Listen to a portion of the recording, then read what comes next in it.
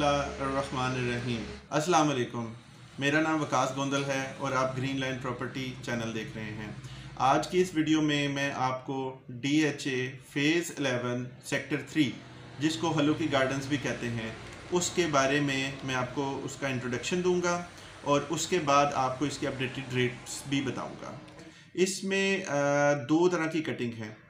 एक आठ मरले की है और एक पाँच मरले की कटिंग है। और इसके अलावा अगर हम इसके लोकेशन की बात करें तो इसकी एक साइड पे वो आ जाती है, ख्याबान ख्याबान मीन आती है, एक साइड पे के एम सी आती है और इसकी दूसरी साइड पे बागेरम आती है। और इसमें जो इसके रेट्स हैं आठ मरले के, वो शुरू होते हैं तकरीबन सत्तर लाख से और पचासी लाख तक जाते हैं। लोकेशन पे डिपेंड करता है।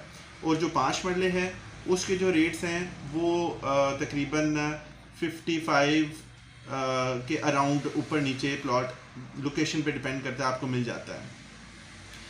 और इसकी जो रेट्स हैं, अगर हम D H A Rahbar sector two से कंपेयर करें तो इसकी रोड्स थोड़ी सी कुशादा हैं उससे।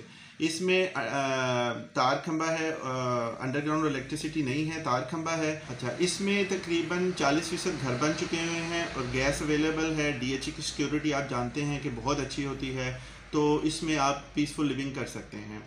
अब मैं आपको मैप पे बताता हूँ। ये gate number four D H से जब हम सेक्टर टू सेंटर होते हैं डिफेंस रोड से तो ये सौ फुट रोड पे हम आते जाएँगे। ये आगे ब्रिज आएगा। ब्रिज से हम फिर टर्न ले के यहाँ से पचहत्तर फुट रोड से हम इसमें मेन एंटर होंगे।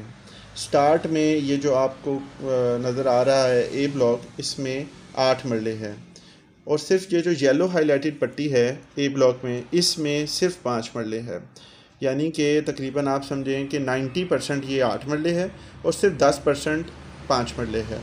ये नौ इशारिया दो कनाल इन्होंने स्कूल की जगह छोड़ी हुई है, जहाँ पर ये आने वाले वक्तों में स्कूल बनेगा। ये इसकी सेक्टर शॉप्स हैं कमर्शियल जिसे हम कहते हैं। मज़ीद आगे बढ़ने से पहले आप वीडियो को लाइक कर दें चैनल को सब्सक्राइब कर दें और बेल आइकन को प्रेस करना मत भूलिएगा ताकि हमें, ताकि आपको हमारी लेटेस्ट वीडियो की नोटिफिकेशन मिलती रहे। ये जो रेड हाईलाइटेड है, ये सेक्टर शॉप्स हैं, ठीक है? और ये येलो जितना भी है आपको नज़र आ रहा है ये बी ब्लॉक है। हाफ़ पोर्शन से नीचे नीचे। तो इसका रेट जो है आप आ, समझ लें कि 53 से 56, 57 यानी कि 55 के अराउंड आपको यहाँ पर अच्छा प्लॉट मिल जाता है। यहाँ पर इन्होंने जो घर बना के खुद दिए हुए हैं वो डीएचए के एम्प्लॉज़ को बना के दिए हुए हैं। ये जो पार्क है आपको नज़र आ रहा है तकरीबन 26 कनाल का। इसके इन्होंने जॉगिंग ट्रैक और इसकी प्लांटेशन शुरू कर दी है। इसको प्रॉपर वो मेंटेन कर रहे हैं। और ये जगह जो साढ़े चार कनाल है, ये मस्जिद के लिए छोड़ी हुई है। और बाकी ये स्पोर्ट्स कम्प्लेक्स और ये दूसरा एरिया जो पार्क में ही शामिल होता है। इसकी जो ये रोड है, ये साठ फिट रोड है रिंग वाली। मेन एंट्रेंस इसकी जो है पचहत्तर फुट रोड है। ये जो इसको लिंक करती है, ये साठ फिट रोड है। कल को अगर जिस तरह ये र्यूमर्स फैली हुई हैं कि बाग इरम भी डी एच एक्वायर कर रहा है, अगर वो एक्वायर कर लेता है तो ये यहाँ से एक डोर ओपन हो जाएगा बाग इरम को और वहाँ से हमें डायरेक्ट एक्सेस आगे रिंग रोड को मिल सकती है। इसकी इस जानब के ई एम सी सोसाइटी है, जिसका आलमोस्ट मर्जर हो चुका हुआ है डी एच ए में। इसका एन ओ सी जारी हो चुका हुआ है, लेकिन अभी ऑफिशियल इन्होंने अनाउंसमेंट नहीं किया।